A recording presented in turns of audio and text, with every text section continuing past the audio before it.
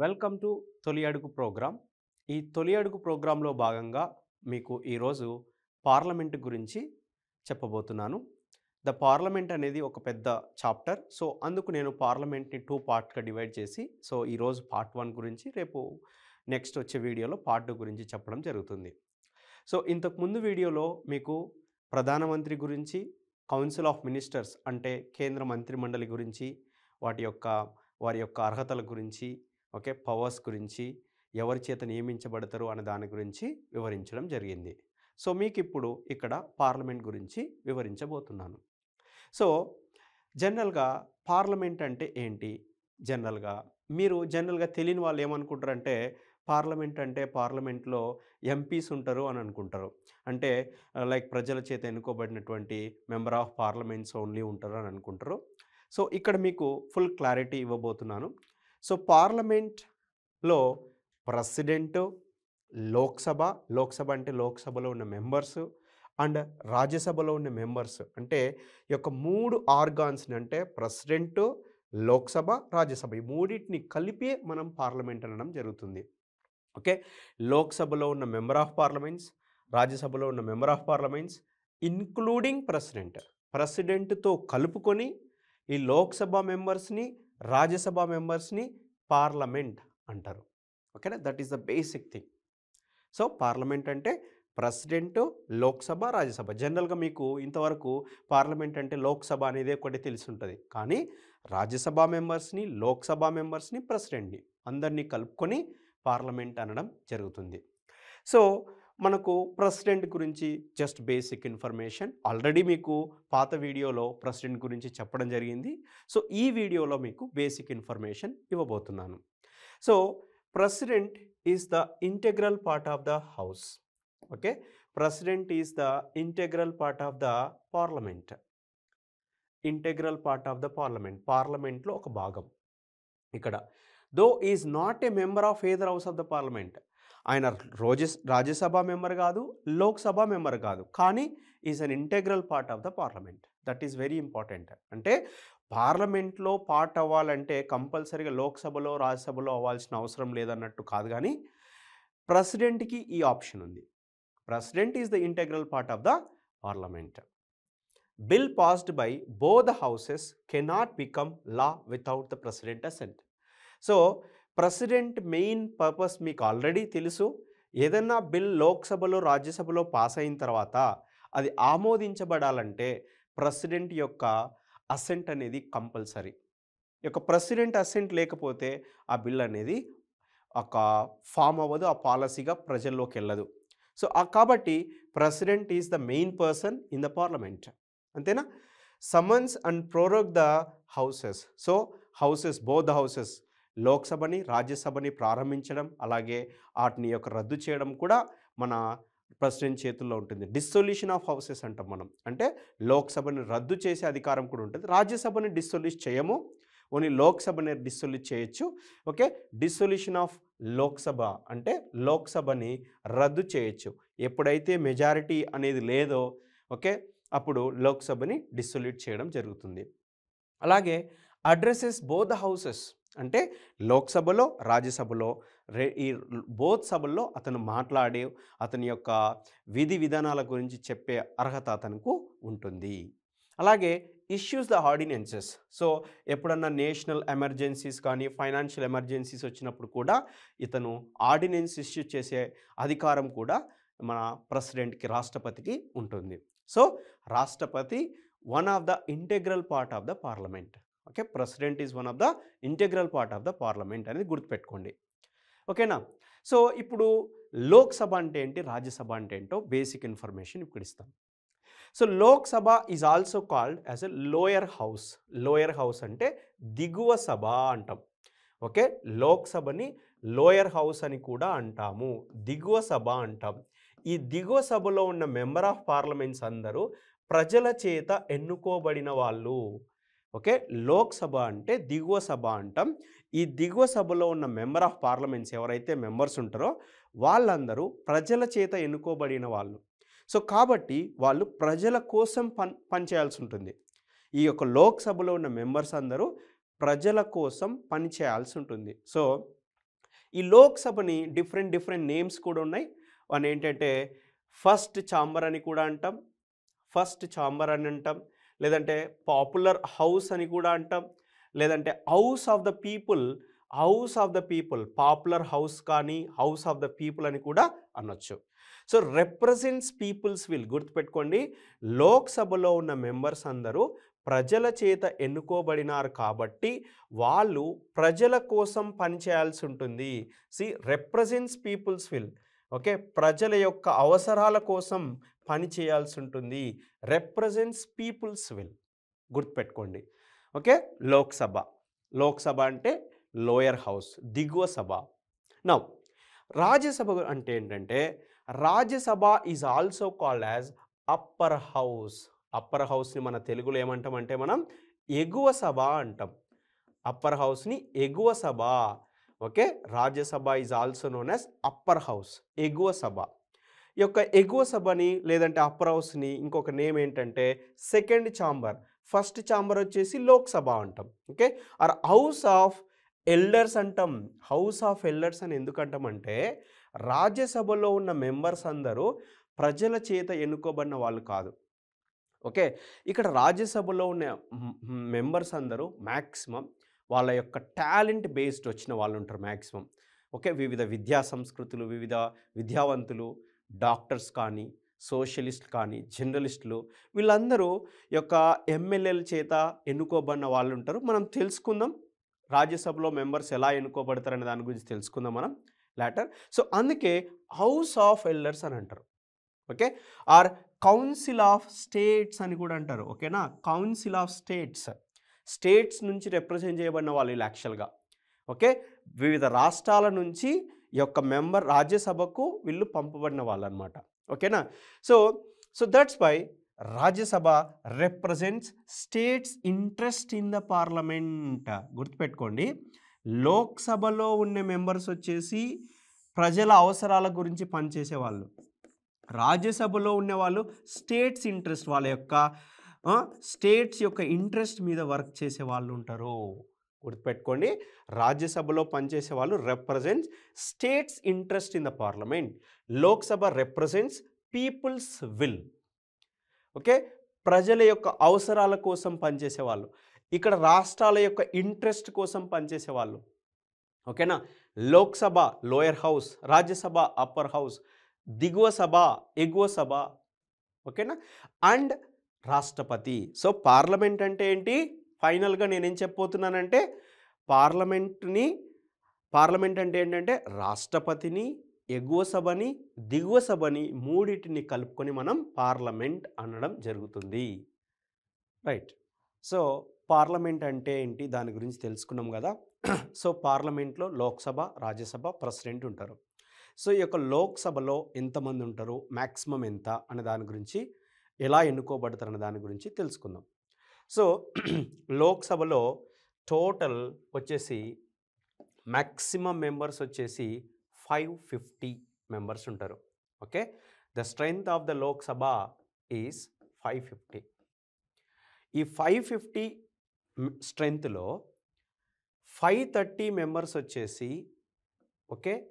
Five thirty members వచ్చేసి representation of states. అంటే వివిధ రాష్ట్రాల నుంచి రిప్రజెంట్ చేసేవాళ్ళు.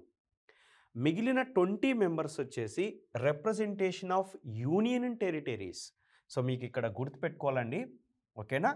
So five thirty members are represented directly from the state five thirty members are represented directly from the states ఎలా వస్తారంటే వీళ్ళు? Directly elected by the people directly elected by the people మన రీసెంట్గా నవంబర్లో ఎలక్షన్ జరిగినాయి కదా November ఎండింగ్లో.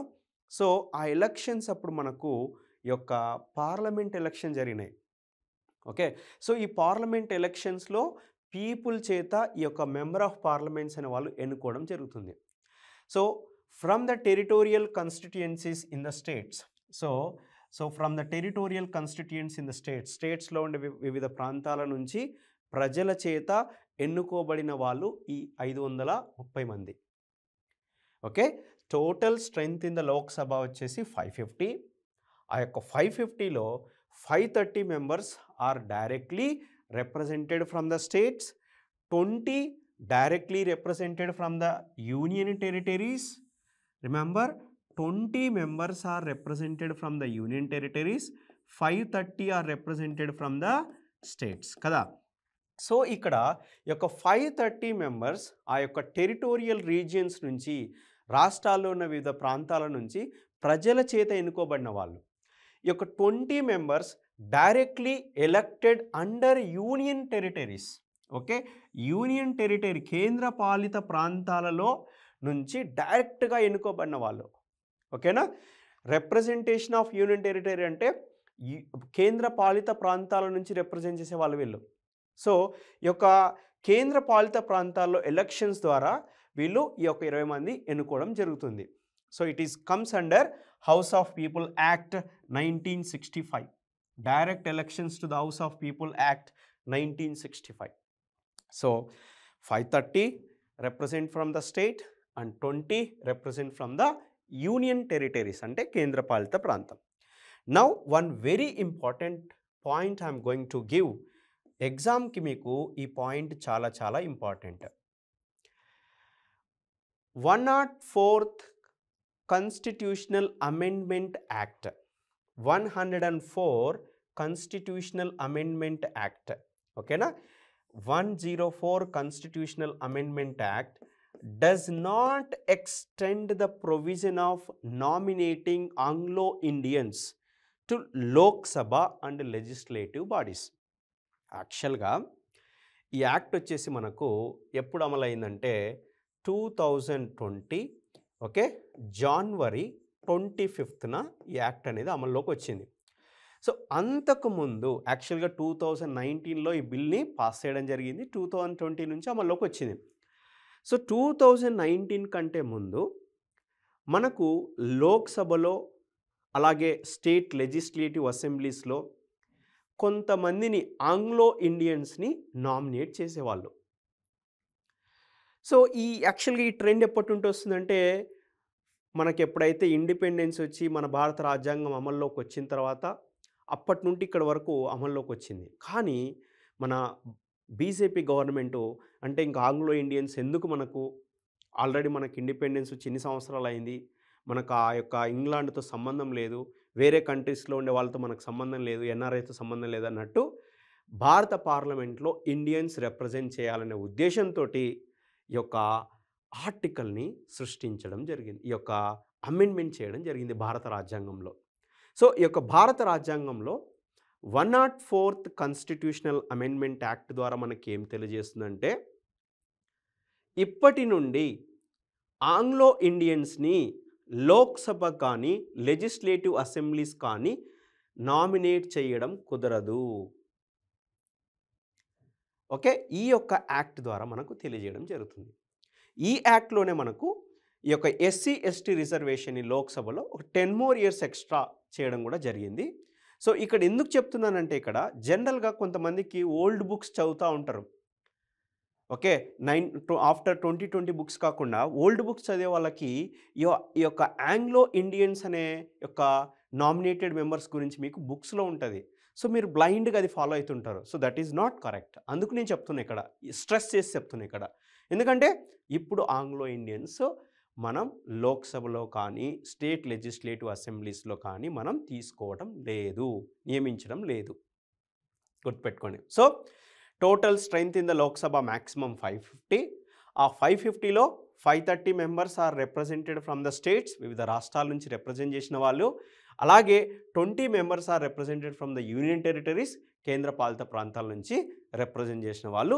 ఈ ఈ యొక్క ఫైవ్ థర్టీ ఈ twenty directly elected from the people ఓకేనా? Directly elected from the people అందుకే నేను ఇక్కడ చెప్పాను లోక్సభ రిప్రజెంట్స్ పీపుల్ విల్ ప్రజల అవసరాల కోసం పనిచేసేది లోక్సభ ఈ యొక్క లోక్సభకే పవర్స్ ఎక్కువ ఉంటాయి ఓకేనా? ఎందుకంటే they are directly elected from the people. Now next.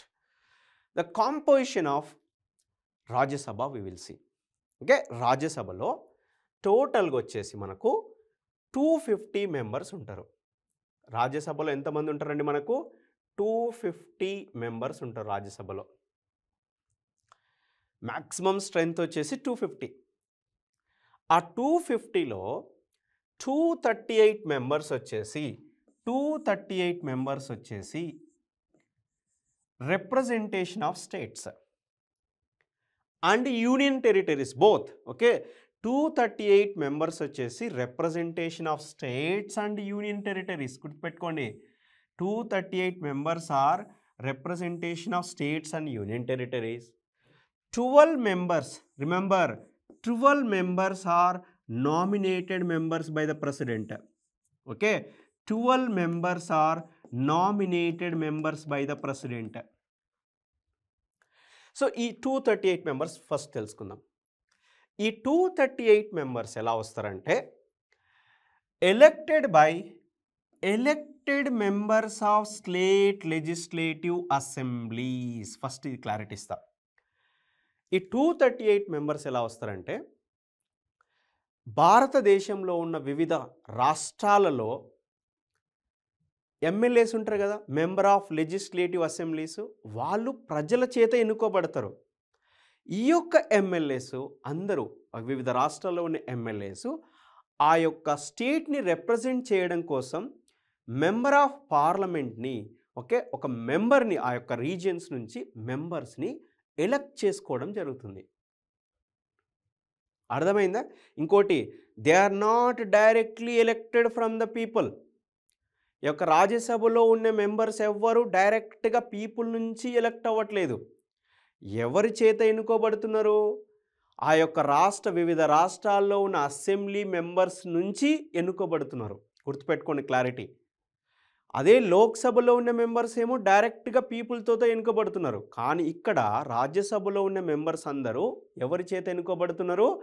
వివిధ రాష్ట్రాల్లో ఉన్న అసెంబ్లీ మెంబర్స్ ఉంటారు కదా ఎమ్మెల్యేస్ వాళ్ళ చేత ఎన్నుకోబడుతున్నారు. అండ్ ఇక్కడ ఇంకో క్లారిటీ ఏంటంటే proportional representation by single transferable vote.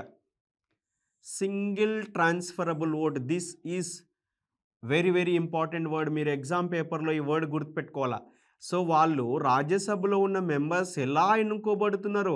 Single transferable vote అంటే మనకు తెలుగులో ఓటు బదిలీ అంటాం. యాక్చువల్గా ఏంటంటే ఇది ఈ సిస్టమ్ ఏంటంటే సో బ్యాలెట్ పేపర్లో ఫోర్ ఫైవ్ నేమ్స్ ఉంటాయి. సో ఒక ఎమ్మెల్యే తీసుకొని MLA vote single transferable vote suppose ఈ బ్యాలెట్ పేపర్లో suppose one Madhushekar okay two Satvik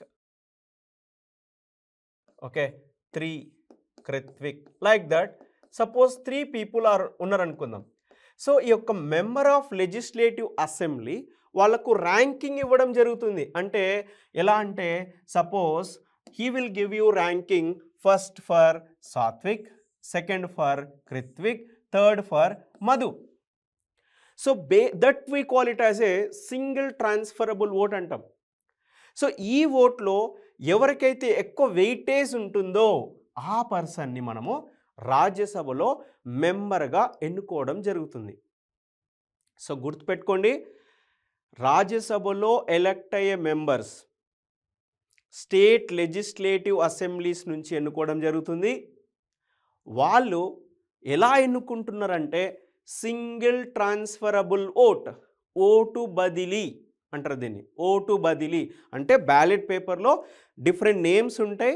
ఆ నేమ్స్ యొక్క వెయిటేజ్ని బట్టి మనం ఆ యొక్క పర్సన్ ఎమ్మెల్యే ఏ ఏ పర్సన్కి ఎంత వెయిటేజ్ ఇస్తున్నాడు ఏ ర్యాంక్ ఇస్తున్నాడు ర్యాంకింగ్ సిస్టమ్ అంటాం. ఆ దాన్ని బేస్ చేసుకొని ఎన్నుకోవడం జరుగుతుంది. అలాగే బట్ రాజ్యసభ అలాగే కేంద్ర పరిపాలిత ప్రాంతాల్లో అయితే indirectly elected ఫ్ర from the electoral college especially constituted for the purpose ఓకేనా సో దీనికోసం స్పెషల్గా రాజ్యసభ మెంబర్స్ కోసం ఒక ఎలక్టోరల్ కాలేజ్ అని ఉంటుంది. వాళ్ళ నుంచి ఇండైరెక్ట్గా ఎన్నుకోవడం జరుగుతుంది. ఓకేనా సో ఇక్కడ ఇంకోటి ఏంటంటే టోటల్గా మనకు నైన్ యూనియన్ టెరిటరీస్ ఉన్నాయి. రీసెంట్గా మనకు ఆర్టికల్ త్రీ సెవెంటీ రద్దు చేసిన తర్వాత జమ్మూ అండ్ కాశ్మీర్ కూడా మనకు ఒక కేంద్ర పరిపాలిత ప్రాంతంగా పెట్టడం జరిగింది. సో ఈ నైన్ యూనియన్ టెరిటరీస్లో ఓన్లీ త్రీ టెరిటరీస్ ఏమంటేవి ఢిల్లీ పుడిచేరి అండ్ జమ్మూ అండ్ కాశ్మీర్. గుర్తుపెట్టుకోండి. ఓకే రాజ్యసభకి యూనియన్ టెరిటరీ నుంచి ఓన్లీ త్రీ యూనియన్ టెరిటరీ నుంచి రిప్రజెంటేషన్ జరుగుతుంది ఇక్కడ. ఎలక్షన్స్ ఓకేనా? Delhi Puducherry and Jammu and Kashmir. Important exam పేపర్లో మీకు అడిగే ఛాన్స్ ఉంది. ఓకేనా? ఎక్కడి నుండి? ఢిల్లీ పుడిచేరి అండ్ జమ్మూ కాశ్మీర్. నౌ ఈ ట్వెల్వ్ మెంబర్స్ నామినేటెడ్ మెంబర్స్ ఎవరు ఎన్నుకుంటారు? ఏ బేస్ మీద ఎన్నుకుంటారో చూద్దాం. See very very important nominated by president. So remember ఎవరు ఎన్నుకుంటారు ఈ ట్వెల్వ్ నామినేటెడ్ మెంబర్స్ని? ప్రెసిడెంట్ ఎన్నుకుంటారు. కానీ మీకు ప్ర ప్రైమ్ మినిస్టర్ కేంద్ర మంత్రిమండలి గురించి చెప్పేటప్పుడు మీకు ఆల్రెడీ చెప్పిన. సో కేంద్ర మంత్రిమండలి ఒక లిస్ట్ ప్రిపేర్ చేస్తుంది. ఎవరికి ఎవరి హెల్ప్ తోటి? Prime minister. ప్రైమ్ మినిస్టరు కేంద్ర మంత్రిమండలి కలిపి ఒక లిస్ట్ ఇస్తే ఆ లిస్ట్ని మనము ప్రెసిడెంట్కి వాళ్ళు సబ్మిట్ చేసినప్పుడు వాళ్ళ సలహా మేరకు ప్రెసిడెంట్ వీళ్ళని నామినేట్ చేయడం జరుగుతుంది. సో ఈ యొక్క ట్వెల్వ్ మెంబర్స్ని ఎవరు నామినేట్ చేస్తారో రాష్ట్రపతి నామినేట్ చేస్తాడు. ఏ బేసిస్ మీద అంటే who have special knowledge or practical experience in art literature science and social services. Art literature science social service మీద ఎవరికైతే పట్టు ఉంటుందో అలాంటి వారిని రాష్ట్రపతి ఒక ఆల్ ఓవర్ ఇండియాలో ట్వెల్వ్ మెంబర్స్ని సెలెక్ట్ చేయడం జరుగుతుంది. సో గుర్తుపెట్టుకోండి two fifty members total strength రాజ్యసభలో two thirty eight members are represented from the states and union territories twelve members are nominated by the president with special knowledge and practical experience in art science and social services and literature. గుర్తుపెట్టుకోండి. So this is the composition of two houses that is lower house and upper house. Right. So మనం ఎగువ సభ దిగువ సభలో maximum strength ఎంత ఉంటుంది ఎలా ఎన్నుకోబడతారు అనే దాని గురించి తెలుసుకున్నాం కదా. నా ఇప్పుడు the duration of both houses. అంటే ఎగువ సభ యొక్క కాలం పదవి కాలం దిగువ సభ యొక్క సభ్యుల పదవి కాలం గురించి మనం తెలుసుకుందాం. నా ఫస్ట్ దిగువ సభ Lok Sabha non continuing chamber as it dissolve in every five years గుర్తుపెట్టుకోండి లోక్సభ ఎవ్రీ ఫైవ్ ఇయర్స్కి ఒకసారి రద్దు చేయబడుతుంది. సో ఎవ్రీ ఫైవ్ ఇయర్స్కి ఒకసారి ప్రజల చేత ఎన్నుకోబడిన కొత్త మెంబర్స్ అనేది రావడం జరుగుతుంది. ఓకే? ఎవ్రీ ఫైవ్ ఇయర్స్ మీకు ఆల్రెడీ తెలుసు కదా! ఎవ్రీ ఫైవ్ ఇయర్స్కి ఎలక్షన్ జరుగుతాయి కదా! సో అలాగా ఎవ్రీ ఫైవ్ ఇయర్స్కి లోక్సభలో ఉన్న మెంబర్స్ అంతా డిజాల్వ్ చేయడం రద్దు చేయడం జరుగుతుంది. సో కొత్త మెంబర్స్ రావడం జరుగుతుంది. ప్రజల చేత ఎన్నుకోబడిన వాళ్ళు. కానీ రాజ్యసభ అలా కాదు. Okay? It's a continuing chamber. కంటిన్యూగా ఉంటుంది. కానీ as one by third of members retire every second year. Okay? One by third of members. ఆ టోటల్ స్ట్రెంగ్త్లో నుంచి వన్ బై థర్డ్ అనే వాళ్ళు రిటైర్ అవ్వడం జరుగుతుంది. ఓకే? అంటే మిగిలిన వాళ్ళు అలాగే కంటిన్యూ అవుతుంటుంది. ఓన్లీ వన్ బై థర్డ్ అనేది రిటైర్ అవ్వడం జరుగుతుంది. మళ్ళా ఆ యొక్క వన్ బై థర్డ్ ఎవరైతే రిటైర్ అయ్యారో వాళ్ళకి మళ్ళా eligible for election and renomination. మళ్ళీ ఎలక్షన్స్ రీనామినేషన్ జరగడం జరుగుతుంది. ఇక్కడ మొత్తం డిజాల్వ్ అయిపోతుంది. ఇక్కడ అలా కాదు. ఓకేనా? So president dissolve Lok Sabha and this cannot be challenged in court of law. This is very very very important. గుర్తుపెట్టుకోండి ప్రెసిడెంట్ ఏ టైంలోనైనా లోక్సభను రద్దు చేసే అధికారం ఉంటుంది. ప్రెసిడెంటు లోక్సభను రద్దు చేసే అధికారం ఉంటుంది. దాన్ని ఏ కోర్టులో కూడా ఏ కోర్టులో కూడా వివరించాలా? లేదంటే క్లారిటీ ఇవ్వడానికి ఏ కోర్టులో కూడా కోర్టులో కేసు వేయడానికి పర్మిషన్ లేదు. Okay? It cannot be challenged in any court of law so ఏ కోర్టులో కూడా ఛాలెంజ్ చేయడానికి లేదు ఇది. ఎందుకు డిజాల్వ్ చేసినాడు ఆయన ఆయన చెప్పాల్సిన అవసరం లేదు. హీ హాజ్ ద పవర్ కానీ ఆయన కేంద్ర మంత్రిమండలి విత్ ప్రధానమంత్రి సలహా మేరకే చేస్తాడు. ఓకేనా? కానీ అలా కాదు ఇది రాజ్యసభ. ఎగువ సభ. ఇట్స్ ఎ పర్మనెంట్ బాడీ గుర్తుపెట్టుకోండి it is a permanent body dissolve చేయలేడు not subjected to dissolution not subjected to dissolution Rajya Sabha is not subjected to dissolution term of Lok Sabha cannot be extended during the national emergency for can be extended sorry term of Lok Sabha can be extended during the national emergency for one year Okay? One year దాన్ని కూడా prolong చేయొచ్చు. National emergency అంటే like వేరే కంట్రీస్తో మన కంట్రీకి war వచ్చినప్పుడు internal emergency ఏదైనా ఉన్నప్పుడు ఆ యొక్క లోక్సభని కంటిన్యూ చేయడం జరుగుతుంది. ఒక వన్ ఇయర్ వరకు ఇంకా అలాగే ఎక్స్టెండ్ కూడా చేయొచ్చు. కానీ ఆ యొక్క నేషనల్ ఎమర్జెన్సీ అయిపోయిన తర్వాత సిక్స్ మంత్స్ కంటే ఎక్కువ కంటిన్యూ చేయడానికి లేదు. నేషనల్ ఎమర్జెన్సీ అయిన తర్వాత సిక్స్ మంత్స్ కంటే కంటిన్యూ చేయడానికి లేదు. See here extension cannot be continue beyond a period of six months beyond a period of six months after the emergency cease to operate so emergency అయిపోయిన తర్వాత ఈ యొక్క లోక్సభను six months కంటే ఎక్కువ రోజులు కంటిన్యూ చేయరాదు. ఒకవేళ ఎక్స్టెండ్ చేస్తే. ఓకేనా కానీ రాజ్యసభలో కాదు. రాజ్యసభలో ఉండే ప్రతి మెంబర్కి under representation of people act. Representation of people act RPA act nineteen fifty one ప్రకారం సిక్స్ ఇయర్స్ టర్మ్ ఉంటుంది. ఓకేనా? రాజ్యసభలో ఉండే మెంబర్స్కు టైం వచ్చేసి పదవి కాలం వచ్చేసి సిక్స్ ఇయర్స్. సిక్స్ ఇయర్స్ అయిపోయిన తర్వాత every year one by third of members retire అవ్వడం జరుగుతుంది వాళ్ళకి కొత్త ఎలక్షన్ జరుగుతాయి. ఓకేనా?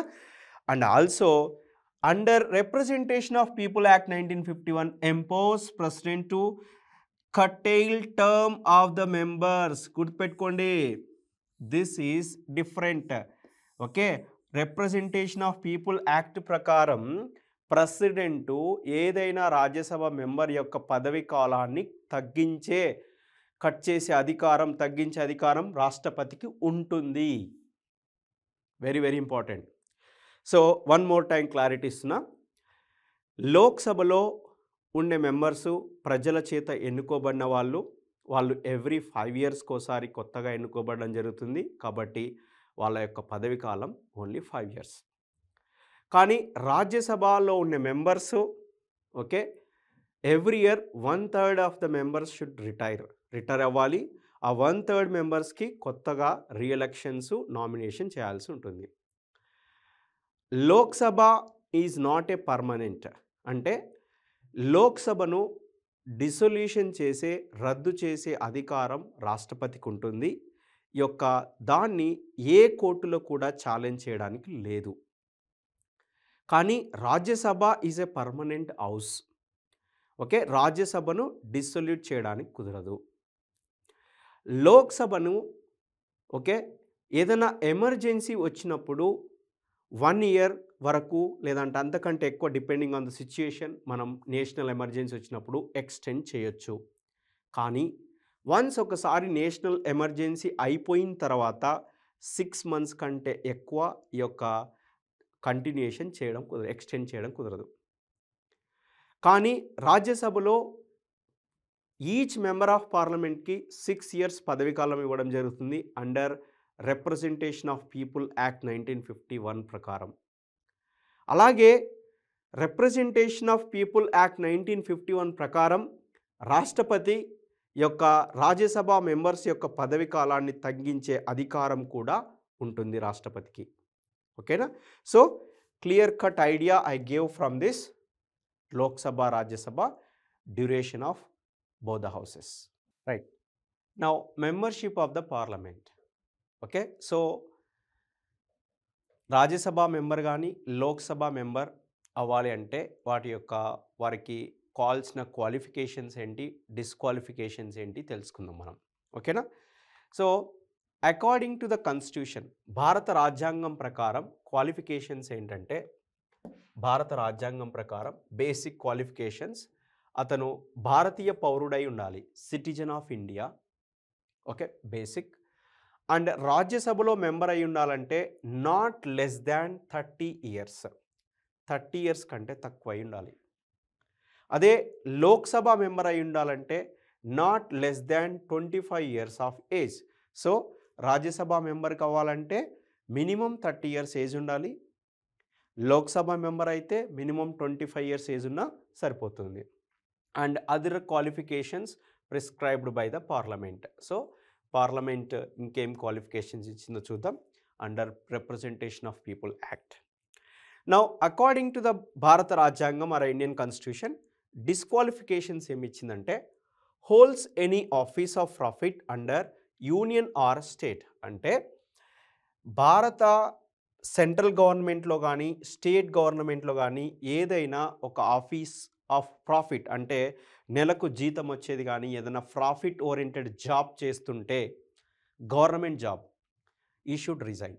లేదంటే డిస్క్వాలిఫై అవుతాడు unsound mind and stands so declared by the court.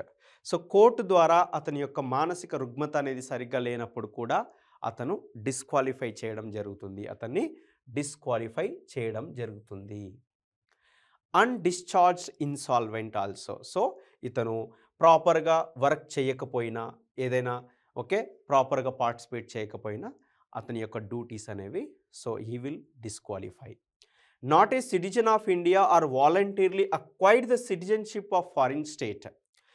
ఒకవేళ సిటిజన్షిప్ కా ఒక ఇండియన్ సిటిజన్షిప్ కాకపోయినా డిస్క్వాలిఫై అవుతాడు. ఒకవేళ అతను ఇండియా ఉండి రీసెంట్గా ఎలక్షన్స్ ముందు తర్వాతను ఫారిన్ సిటిజన్షిప్ అక్వైర్ చేశాడే అనుకోండి. He will disqualify. ఓకేనా? డిస్క్వాలిఫై అవ్వడం జరుగుతుంది. Disqualification under any law made by the parliament. So కొన్ని పార్లమెంట్ రూల్స్ కూడా ఉంటాయి. Disqualification we we will see. ఓకేనా? So according to the qualification మనకు ఇవి బేసిక్ థింగ్స్. సో భారతీయ పౌరుడై ఉండాలి. లోక్సభ మెంబర్ అయితే ట్వంటీ ఫైవ్ ఇయర్స్ కన్నా ఎక్కువ ఉండాలి. రాజ్యసభ మెంబర్ అయితే థర్టీ ఇయర్స్ కన్నా ఎక్కువ ఉండాలి. నౌ ఇక్కడ according to the representation of people act మనకు రిప్రజెంటేషన్ ఆఫ్ పీపుల్ యాక్ట్ అనేది చాలా ఇంపార్టెంట్ ఈ యొక్క representation of people act nineteen fifty వన్లో చాలా మాడిఫికేషన్ జరిగినాయి.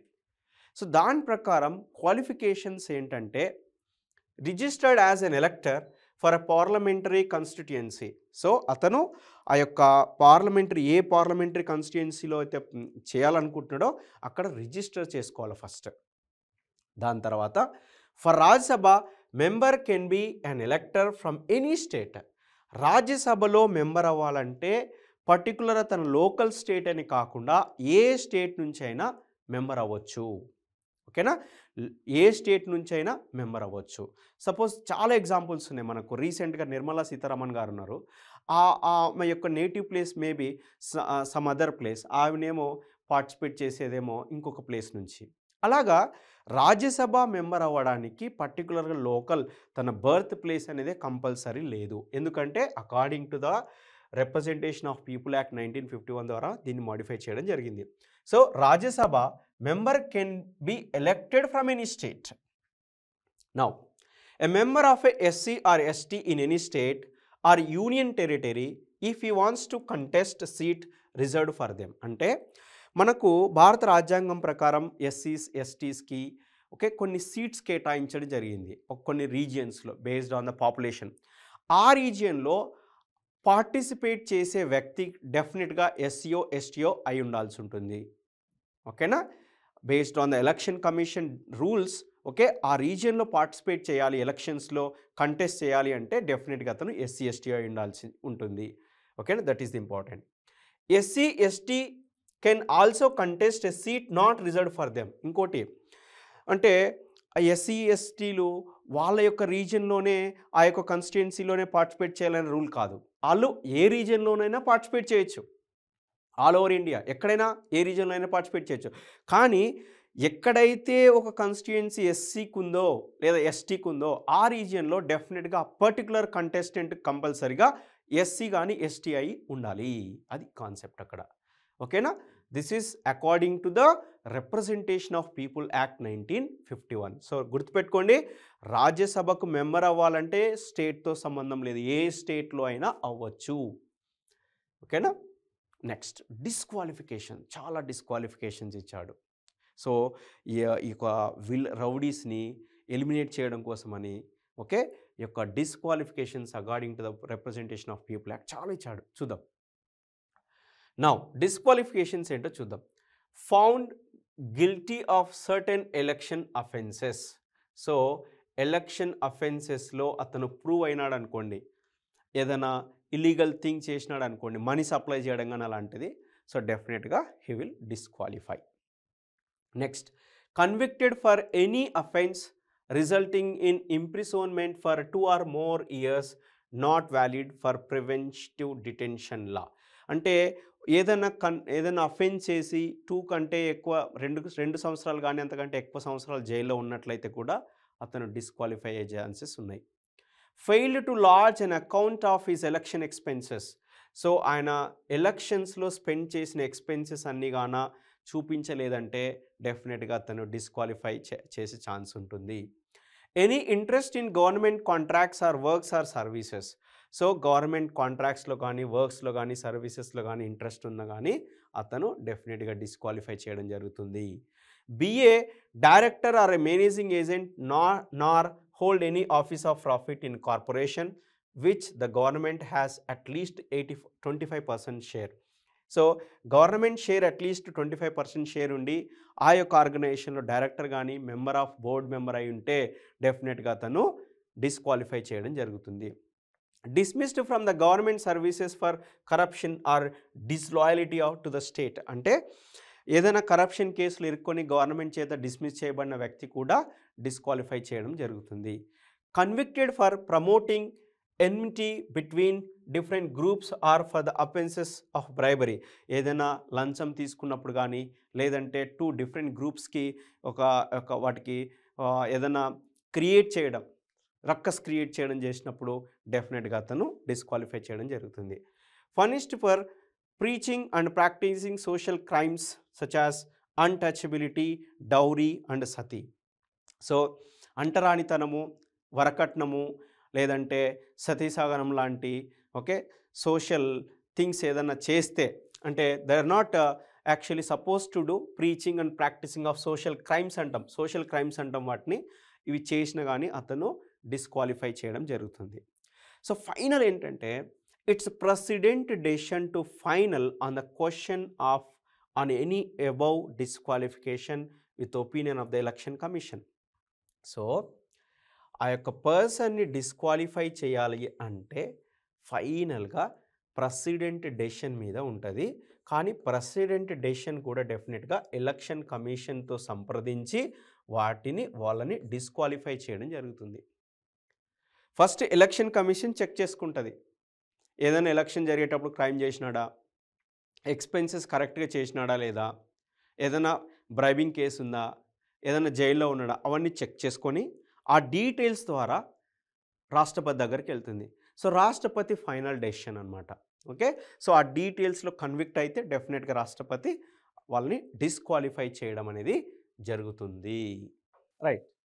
So disqualification on the ground of defection. అంటే ఇక్కడ మెంబర్ ఆఫ్ పార్లమెంట్ ఎన్నికైన తర్వాత సో ఆ యొక్క పదవిలో ఉన్నప్పుడు సో అతను కొన్ని లైక్ పార్టీ చేంజ్ అవ్వడం కానీ ఓకే వాలంటరీగా కానీ లేదంటే ఓట్స్ కోసమని ఓట్ బ్యాంక్ కోసమని ఓకే బిల్ పాస్ అవ్వడం కోసమని పార్టీ చేంజ్ అవ్వడం అలాంటివి జరిగినప్పుడు ఎవరు అతన్ని డిస్క్వాలిఫై చేస్తారు? అనే దాని గురించి మీకు ఇక్కడ చెప్తున్నా. So according to the constitution of India tenth షెడ్యూల్లో ఇది పెట్టడం జరిగింది. Tenth schedule of the constitution భారత రాజ్యాంగంలోని టెన్త్ షెడ్యూల్లో final decision by chairman in case of Rajya Sabha. Okay? So Rajya Sabha members member of parliaments రాజ్యసభలో ఉన్న మెంబర్స్ ఏదైనా డిస్క్వాలిఫై చేయాలంటే ఫైనల్ డెసిషన్ వచ్చేసి రాజ్యసభ చైర్మన్ చేతిలో ఉంటుంది. అలాగే లోక్సభలో ఉన్న మెంబర్స్ని డిస్క్వాలిఫై చేయాలంటే ఫైనల్ డెసిషన్ అనేది లోక్సభ స్పీకర్ చేతిలో ఉంటుంది. గుర్తుపెట్టుకోండి. Chairman of Rajya Sabha speaker in case of Lok Sabha. Chairman of lock Rajya Sabha speaker in in case of Lok Sabha not by the president of India. ఓకేనా? ఇక్కడ వచ్చేసి according to the representation of people act disqualifications ఇచ్చాను కదా? ఇక్కడ ఇవేంటంటే ఎలక్షన్స్ జరిగే ముందు ఎలక్షన్స్ కంటే ముందు final decision president with the help of election commission elections అయిన తర్వాత ఏమన్నా మాల్ ప్రాక్టీసెస్ చేసినా ఏం జరిగినా అప్పుడు ఫైనల్ డెసిషన్ వచ్చేసి chairman in case of Rajya Sabha speaker in case of Lok Sabha but not by the president. గుర్తుపెట్టుకోండి. చాలా చాలా ఇంపార్టెంట్. ఓకేనా? సో ఎలాంటప్పుడు ఆ యొక్క మెంబర్ ఆఫ్ పార్లమెంట్ అనేది డిస్క్వాలిఫై అవుతాడో చూద్దాం. ఏ రీజన్స్? ఫోర్ రీజన్స్ ఇక్కడ. Voluntarily gives of the membership of the political party. ఒక పొలిటికల్ పార్టీ నుంచి అతను ఎన్నుకో ఎన్ను ఎలక్షన్ ప్రజల చేత ఎన్నుకోబడినాడు ఆ పొలిటికల్ పార్టీ నుంచి వేరే పొలిటికల్ పార్టీకి వెళ్ళినాడు అనుకోండి he is going to be disqualified. మీకు రీసెంట్గా కొన్ని సంవత్సరాల ముందు రఘురామరాజు గారు వైఎస్ఆర్సీపీ తరపున ఎన్నుకోవడం జరిగింది. అతను వైఎస్ జగన్మోహన్ రెడ్డి గారితో ఆల్వేస్ ఫైటింగ్లో ఉన్నాడు కానీ అతను రిజైన్ చేయలేకపోయినాడు. ప్రాబ్లం ఏంటంటే ఒకవేళ రిజైన్ చేస్తే ఆ పొలిటికల్ పార్టీ నుంచి there is a problem of disqualification అది మెయిన్గా ఓకేనా so voluntarily gives up a membership of the political party any independently elected member joins any political party so అతను ఎలక్షన్స్లో ఇండిపెండెంట్గా పోటీ చేసి ఇండిపెండెంట్గా ఎన్నుకున్న తర్వాత అతను ఒకవేళ పొలిటికల్ పార్టీలో జాయిన్ అయితే అతను కూడా డిస్క్వాలిఫై అయ్యే ఛాన్స్ ఉంది. Next votes or abstains from voting in the house contrary to any direction given by his political party suppose suppose ఇక్కడ సపోజ్ ఆంధ్రప్రదేశ్లో తీసుకుంటే టీడీపీ ఉంది కదా.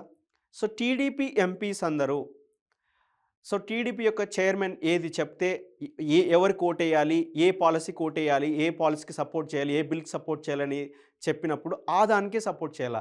ఒకవేళ చేయలేదు అనుకోండి ఆబ్సెంట్ అయినాడు అనుకోండి ఓటేయకుండా వేయకుండా ఓకే సపోజ్ ప్రెసిడెంట్ ఎన్నికలు జరుగుతున్నాయి.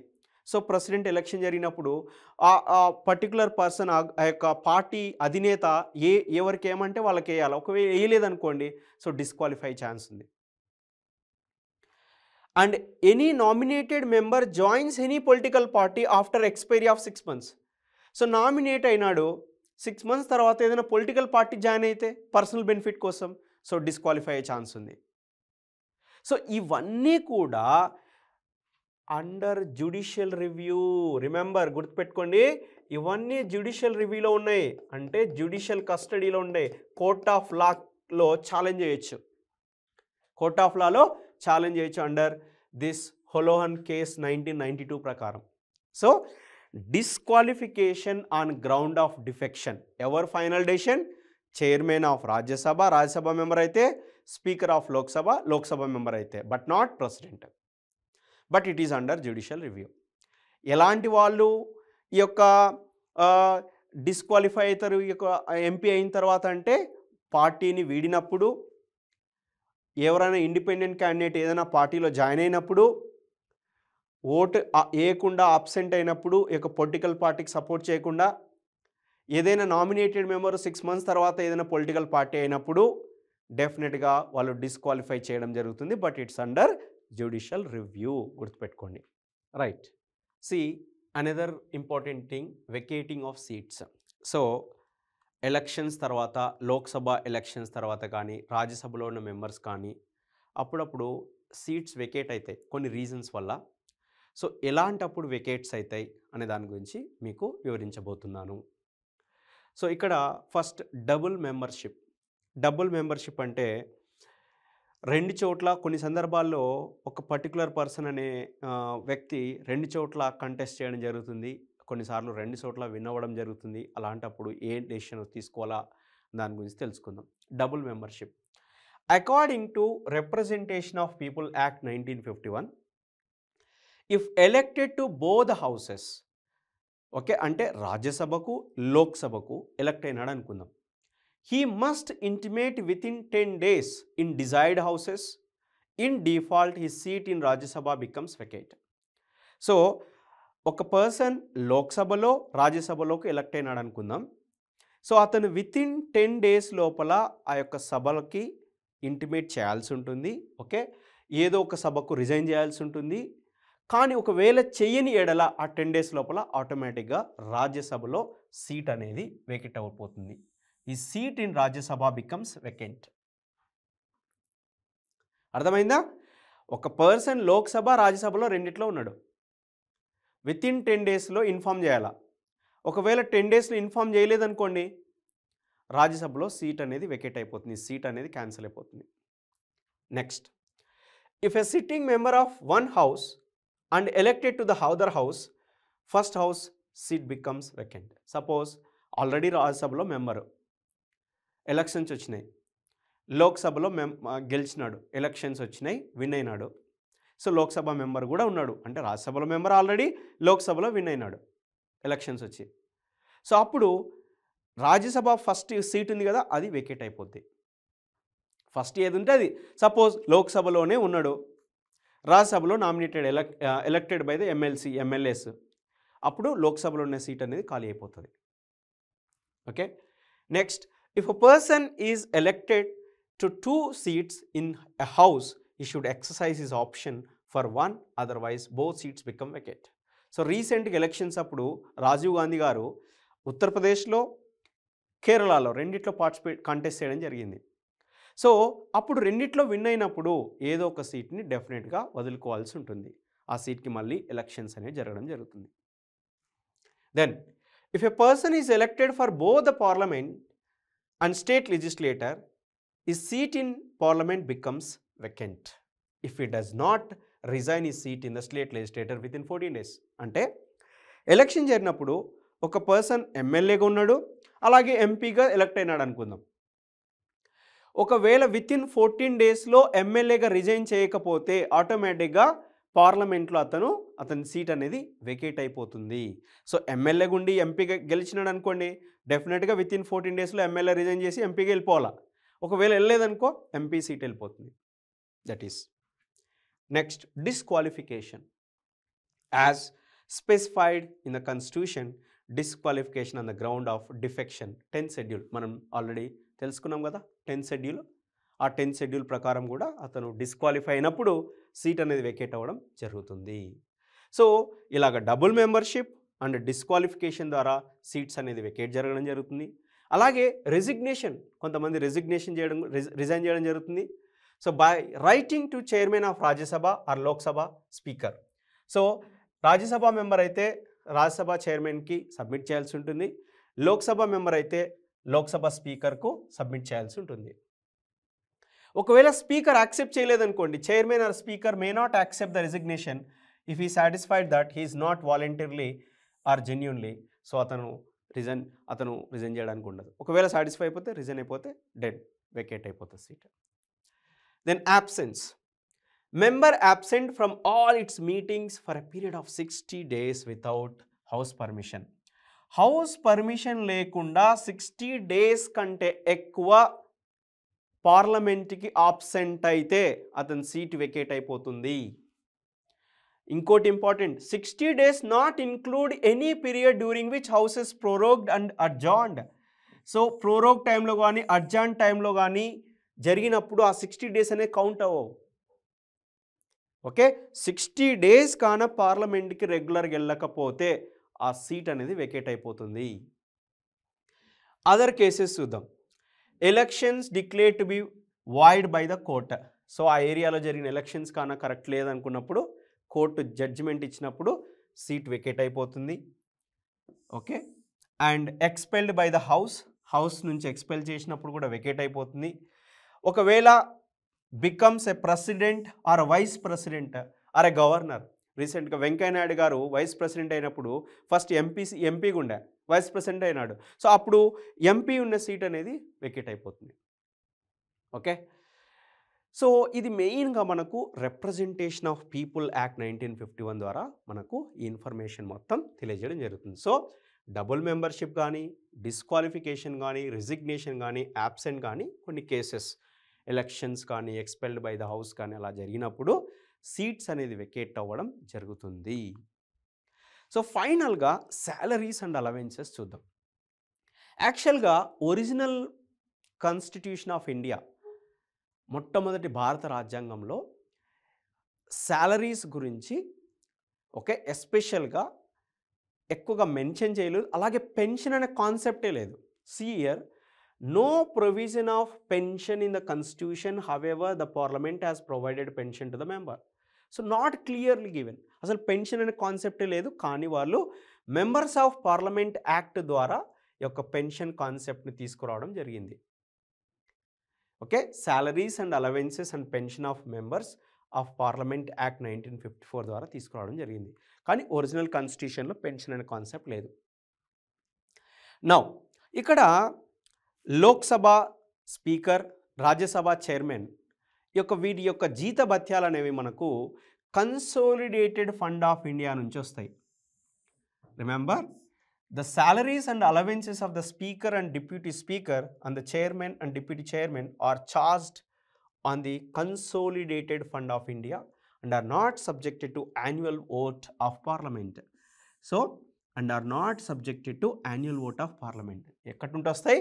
కన్సోలిడేటెడ్ ఫండ్ ఆఫ్ ఇండియా నుంచి వారి యొక్క జీత భత్యాల్ని తీసుకోవడం జరుగుతుంది. సో మీకు ఈ వీడియోలో కొంతవరకు పార్లమెంట్ గురించి వివరించడం జరిగింది. పార్లమెంట్ అంటే ఏంటి? ఓకే. లోక్సభ రాజ్యసభ గురించి లోక్సభకు రాజ్యసభకు ఎలా ఎన్నుకోబడతారు? ఎప్పుడు సీట్స్ వెకేట్ అవుతాయి okay. Representation of people act ఎలా ఉంటుంది? ఎలా ఎన్నుకోబడుతుంది? ఏ ఈ యాక్ట్ ద్వారా క్వాలిఫికేషన్స్ ఏంటి? డిస్క్వాలిఫికేషన్స్ ఏంటి? అనే దాని గురించి తెలుసుకోవడం జరిగింది. సో మీకు ఇప్పుడు some of the important questions ఇవ్వడం జరుగుతుంది. సిహియర్ సింపుల్ క్వశ్చన్స్ అడుగుతారండి.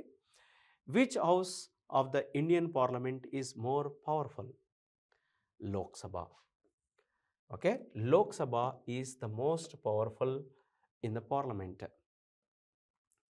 because they are elected the Lok Sabha members are elected by the people of India Which article of the Constitution of India deals with the sessions of the Parliament? Article 85 deals with sessions of the parliament okay article eighty five అనేది parliament యొక్క sessions గురించి dissolution గురించి prorogue గురించి adjournment గురించి తెలియజేయడం జరుగుతుంది. The maximum possible strength of the Rajya Sabha is two fifty okay Rajya Sabha strength maximum two fifty ఓకేనా two ఫిఫ్టీలో టూ థర్టీ ఎయిట్ వచ్చేసి represented by the states and UTs and twelve members nominated the joint sitting of both the houses is chaired by so both the houses joint sitting Lok Sabha Rajya Sabha joint sitting అప్పుడు speaker of Lok Sabha will deal speaker of Lok Sabha head ఉంటాడు. ఓకేనా speaker of Lok Sabha the council of ministers is collectively responsible for which of the following జనరల్గా doubt వస్తుంది. కేంద్ర మంత్రి మండలి దేనికి responsible అంటే జనరల్గా కొంతమంది పార్లమెంట్ అనుకుంటారు రాష్ట్రపతి అనుకుంటారు Lok Sabha. Council of ministers of is collectively responsible for the Lok Sabha. గుర్తుపెట్టుకోండి. So these are the questions some of the questions parliament గురించి మీకు తెలియజేయడం జరిగింది. Thank you. ధన్యవాదాలు.